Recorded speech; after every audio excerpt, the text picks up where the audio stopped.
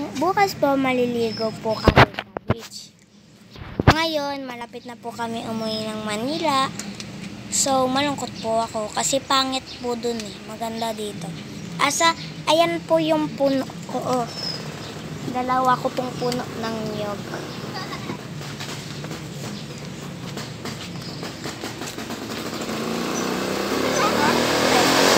Malaki na po yan. Ayan po. Malaki na po. Sobra. Ayan po yung isa. Malalaki na po. Si mama po nagturo sa kampano po magtanim ng niyog.